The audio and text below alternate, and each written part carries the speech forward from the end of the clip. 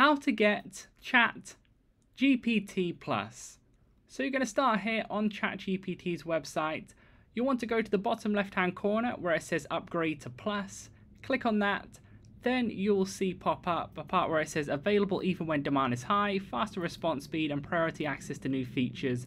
Go ahead and click on the green upgrade plan button. That's going to bring you through to this web page here where it will say uh, US $20. Might be a bit different for you depending on the currency of where you're from.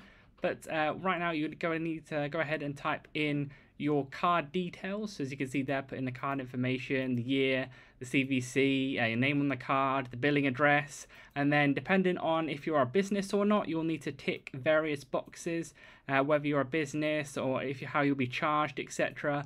But then once you've gone in and put in all your information, all you need to do is click the green subscribe button at the bottom. As soon as that's done, the payment will go through, then you'll be able to use ChatGPT Plus.